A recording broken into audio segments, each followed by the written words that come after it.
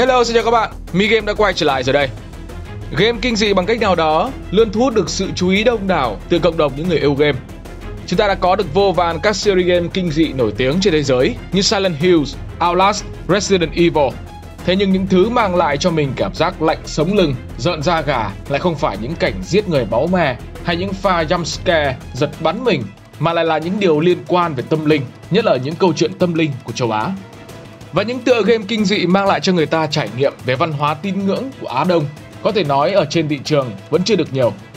Và hôm nay Mi Game sẽ mang đến cho các bạn một video game kinh dị đậm chất châu Á mà mình rất ưa thích, đó chính là Detention. Hãy cùng Mi Game tìm hiểu về chuyện gì đã xảy ra trong Detention và những tín ngưỡng tâm linh đã được lồng ghép khéo léo vào game nhé. Giờ thì bắt đầu thôi nào.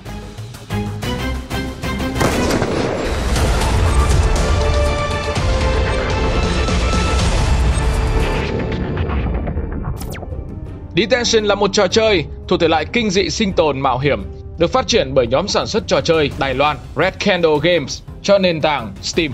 Trò chơi làm bằng đồ họa 2D với không khí kinh dị trong bối cảnh Đài Loan dưới chế độ thiết quân luật vào những năm 1960. Tựa game này chứa yếu tố tâm linh dựa trên văn hóa và chuyện ma Đài Loan. Ý tưởng của game ban đầu được lấy từ nhà đồng sáng lập Red Candle Games là Diêu Thuấn Đình. Vào tháng 2 năm 2017, phiên bản tiểu thuyết dựa trên nội dung của tựa game do tác giả Linh Tinh Chắp Bút đã được phát hành. Phiên bản phim điện ảnh truyền thể cũng được phát hành vào ngày 20 tháng 9 năm 2019 và được phân phối bởi Warner Bros. Đài Loan. Detention được nhận vô vàn những lời phản hồi tích cực từ cộng đồng. Rely on Horror trao cho tựa game này 9 trên 10 điểm. Trong tháng đầu tiên phát hành, Detention cũng nhận được điểm cao nhất của người chơi trong năm với số điểm 8,4 và xếp hạng 2 trong hạng mục những trò chơi trên máy tính năm 2017 của Metacritic, chỉ sau Resident Evil 7 Biohazard. Xếp hạng 3 những trò chơi được chia sẻ nhiều nhất và hạng 6 cho những trò chơi máy tính được thảo luận nhiều nhất năm. Detention mang người chơi vào khoảng thời gian khủng bố trắng tại Đài Loan những năm 1960. Cho những bạn nào chưa biết thì khủng bố trắng ở Đài Loan là việc đàn áp các nhà bất đồng ý kiến trong thời kỳ thiết quân luật. Thời kỳ thiết quân luật ở Đài Loan kéo dài 38 năm và 57 ngày, từ 19 tháng 5 năm 1949 đến ngày 15 tháng 7 năm 1987. Thời kỳ thiết quân luật này của Đài Loan là thời kỳ thiết quân luật lâu nhất trên thế giới vào thời điểm nó được gỡ bỏ nhưng đã bị vượt qua bởi thiết quân luật ở Syria của nhà cầm quyền đương thời dài hơn nửa thế kỷ, kéo dài từ năm 1963. Thuật ngữ khủng bố trắng theo nghĩa rộng của nó là đề cập đến toàn bộ giai đoạn từ năm 1947 đến năm 1987. Khoảng 140.000 người Đài Loan đã bị cầm tù trong thời gian này.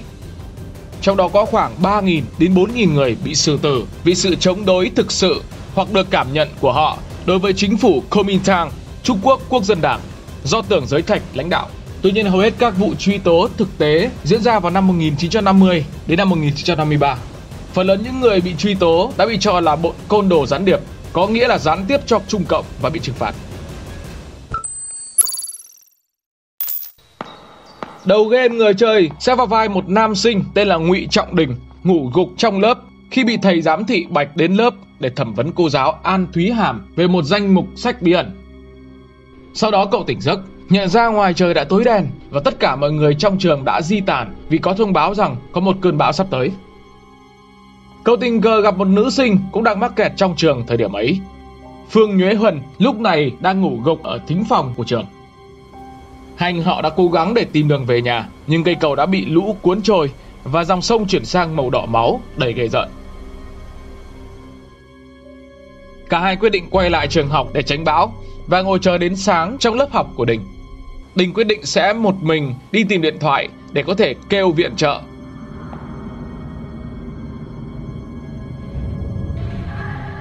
Và sau đó trò chơi chỉ đến cảnh Hân thức giấc trong thính phòng lần nữa. Và lần này ngôi trường đã biến thành một màu đen tối kinh dị và xác chết của Đình đang bị treo ngược lơ lửng trên giữa sân khấu của thính phòng. Và lúc này, người chơi sẽ nhập vai vào nhân vật Phương Nhuế Hân, cũng chính là nhân vật chính trong tựa game. Hân là một học sinh ưu tú của trường Thúy Hoa, nhưng cô dần mắc chứng trầm cảm do những vấn đề về gia đình và việc đó tác động đến việc học hành. Bố Hân là một kẻ nghiện rượu chè, ham mê bài bạc, ngoại tình và đánh đập vợ con. Bố Hân là một viên chức nhà nước và để phục vụ cho những thói xa đọa của mình, ông ta đã tham nhũng công quỹ. Sau đó bố Hân bị bắt và mẹ cô chỉ bảo rằng bố cô ra đi vì đã để đôi bàn tay bị nhờ nhuốc. Việc thiếu thốn tình cảm gia đình dẫn đến việc cô dần xa sút trong việc học tập. Và đó cũng là khi cô gặp Trương Minh Huy, thầy giáo cố vấn tại trường Thúy Hoa. Hai người họ đã dần phải lòng nhau và đã vượt trên mối quan hệ thầy trò. Hân dường như đắm chìm vào mối quan hệ yêu đương này và cô coi thầy Trương như một người cứu rỗi cô khỏi những u uất từ những vết thương về gia đình. Tuy nhiên thầy Trương lại không phải là một người bình thường có thể cho Hân một tương lai tươi sáng. Khi thầy Trương là thành viên của hội sách cấm và thầy đã giấu Hân về chuyện giúp cô Ân chuyển lậu những tựa sách bị cấm cho câu lạc bộ sách trái phép, nơi Đình cũng là thành viên. Sau đó cô Ân hay biết mối quan hệ thầy trò bất chính này và đã ngăn cấm thầy Trương, bảo thầy hãy chấm dứt mối quan hệ sai trái này. Hân đã vô tình nghe lén được cuộc đối thoại giữa Ân và thầy Trương. Cô Ân cho rằng mối quan hệ giữa họ có thể làm nguy hại tới hoạt động của câu lạc bộ sách và cô không cho phép thầy tiếp tục. Sau cuộc nói chuyện với cô Ân, thầy Trương đành ra quyết định kết thúc mối quan hệ với Hân và khiến Hân lại một lần nữa chìm vào tuyệt vọng. Với sự phẫn uất và căm hận, trong một đêm dầm bão, Hân đã thuyết phục Đình đưa cho cô danh sách những tựa sách bị cấm và Đình đã đưa nó cho cô. Nếu các bạn thắc mắc tại sao Đình lại có thể đưa cho Hân một thứ quan trọng như vậy thì đó chính là vì Đình thích Hân. Trong nhật ký của Đình, cậu đã viết rằng người tôi yêu và giáo viên đã đi đến một nơi xa xăm. Quả nhiên tình yêu là mù quáng, chỉ vì một đứa con gái mà phản bội lại tất cả đồng đội. Và sau khi có được danh sách, Hân đã giao nộp nó cho thầy giám thị Bạch, một sĩ quan quân đội được giao nhiệm vụ quản lý trường Thúy Hòa. Hân cho rằng việc này sẽ khiến cho cô Ân bị đuổi việc, chứ không có hậu quả gì khác. Đây cũng là lý do cho việc đầu game. Khi cô Ân đang giảng dạy thì thầy Bạch tìm đến và hỏi cô về một danh sách bí ẩn. Đó chính là danh sách những thành viên trong hội sách cấm. Cô Ân sau đó đã trốn khỏi Đài Loan và tiếp tục hoạt động nhân quyền ở các quốc gia khác, rồi qua đời vào năm 50 tuổi vì bệnh lao phổi. Đình và các thành viên khác của câu lạc bộ mặc dù đã xóa sạch các sách cấm nhưng vẫn bị phạt tù 15 năm và riêng thầy Trương bị xử tử. Hân được trao thưởng cho hành động của mình. Sau lại bị bạn bè cùng lứa khinh bỉ vì là kẻ đã trực tiếp tước đi tuổi trẻ của những người bạn của mình và là kẻ đã dồn thầy Trương vào chỗ chết. Tội lỗi như ánh mắt kỳ thị cùng cái chết của thầy Trương đã dần vặt Hân từng giây phút. Cô còn quá non trẻ nên không thể nhận ra những quyết định của mình đã ngu xuẩn ra sao. Vì chỉ muốn trả thù cô Ân, Hân đã hại bạn mình, đã giết chết người mà mình yêu. Cô quyết định kết thúc mạng sống của mình từ tầng thượng của trường. Như vậy Detention là một trò chơi mà trong đó linh hồn của Hân đang được đi ngược ký ức như một hành động không chấp nhận và chối bỏ tội lỗi. Đến cuối trò chơi, bóng đen của Hân sẽ hỏi cô một số câu hỏi. Nếu người chơi từ chối thừa nhận mọi tội lỗi trong quá khứ, bóng của Hân sẽ bảo rằng cô và Hân không phải là một và sẽ dẫn tới bad ending. Hân sẽ đi một con đường dọc con sông nhuốm máu và trôi nổi trên dòng sông ấy là vô vàn xác chết. Đồng thời ta cũng thấy được xác chết của Đình, thầy Trương và cô Ân nói rằng vòng đời của cô sẽ không thể giải thoát được. Cô đi vào thính phòng, nơi mà người vỗ tay tán dương và phần thưởng tuyên dương cô lúc này chính là một đoạn dây thòng lọng, thứ mà cô sẽ dùng để treo cổ tự vẫn ngay trên sân khấu của thính phòng và vòng luẩn quẩn tội lỗi của cô vẫn mãi lặp lại.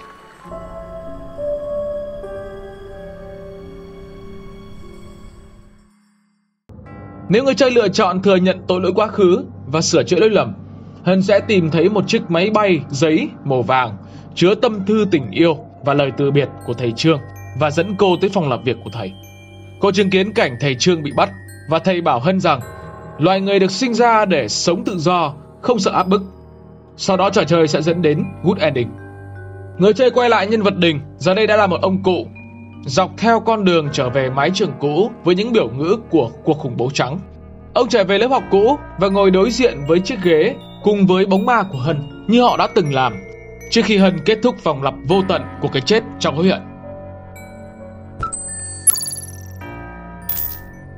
Thứ làm nên sự hấp dẫn của Detention không chỉ nằm trong cốt truyện mà còn chính ở cách lựa chọn bối cảnh và đưa nó vào những yếu tố văn hóa tinh ngưỡng, đậm chất thời đại và khu vực.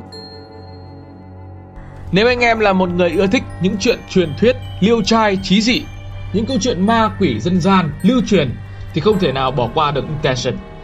Game gần như đem đến hầu hết các yếu tố tín ngưỡng, thờ cúng Phật giáo, đến cho những người chơi để trải nghiệm. Nơi mà Hân tỉnh dậy chính là âm giới. Đó là thế giới song song với thế giới này, như ở bên kia của sự sống.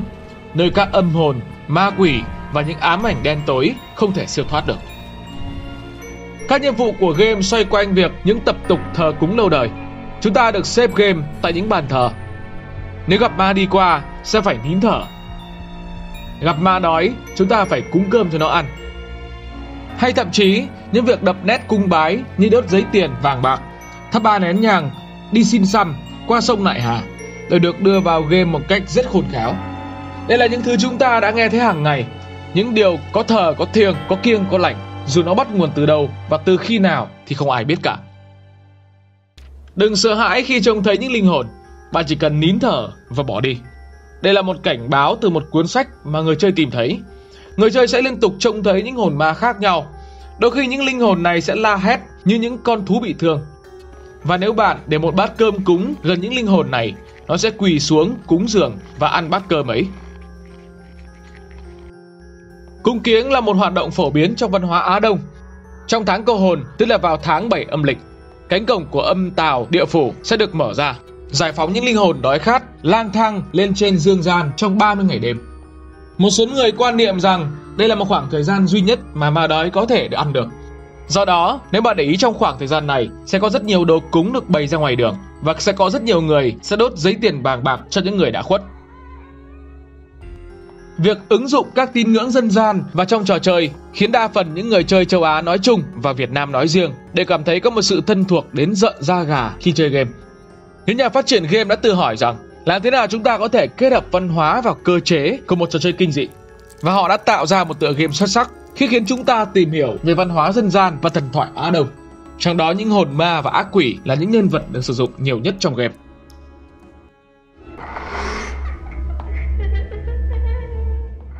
Vong linh là một loại hồn ma nổi tiếng xuất hiện trong nhiều chuyện dân gian châu Á.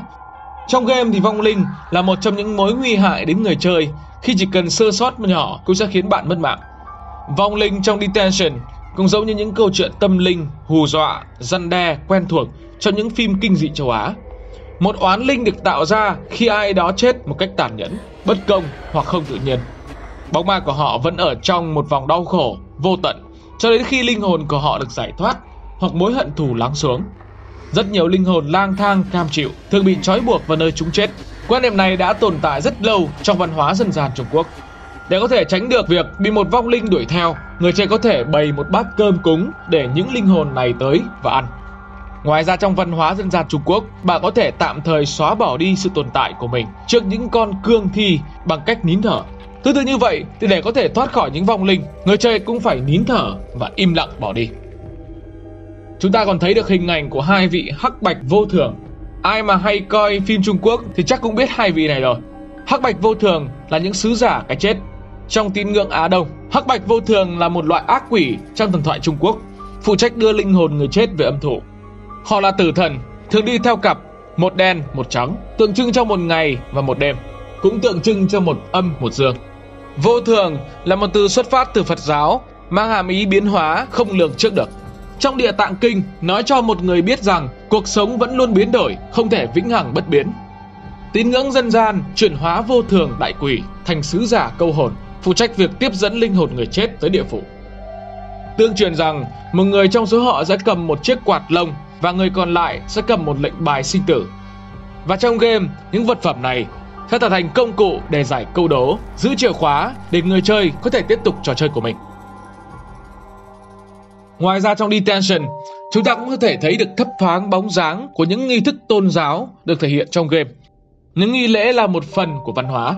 Chúng ta cũng thấy được hình ảnh nhân vật Phương Nhuế Hân đang thực hiện việc gieo quẻ bói. Trong đạo giáo, những mảnh gỗ được gieo quẻ có thể được xem là một công cụ để xin lời khuyên từ các vị thần. Trong Detention, nghi lễ gieo quẻ này đã được sử dụng để xác định mối quan tâm của Hân về tình yêu, tương lai và gia đình. Chúng ta cũng thấy được một hình ảnh một nghi lễ rất quen thuộc với người Việt Nam, đó chính là đốt giấy tiền vàng bạc. Theo quan niệm của những người còn sống, những người chết được đưa xuống cõi âm, một nơi giống như cõi dương. Những người cõi âm đều sinh hoạt giống như người trên dương thế và họ cũng cần có những vật dụng dành cho cuộc sống. Là tựa game đầu tiên đánh dấu một sự khởi đầu mới cho Red Candle Game. Mặc dù cũng có rất nhiều điểm cần cải tiến, thế nhưng đối với mình, Detention cũng đã hoàn thành rất tốt công việc của mình khi mang lại cho người chơi một tựa game kinh dị, đậm chất văn hóa Á Đông, của một cốt truyện nhiều nút thắt. Mình nghĩ rằng Red Candle Game là một studio rất có tiềm năng và sẽ còn phát triển hơn nữa nếu vẫn giữ cho mình tư duy làm game và một sắc độc đáo như vậy. Điển hình chính là tựa game Devotion mà nhiều người cho rằng đó chính là game kinh dị hay nhất năm 2019. Hy vọng trong tương lai chúng ta sẽ còn được đón chờ nhiều tựa game mới từ nhà phát triển game châu Á đầy triển vọng này.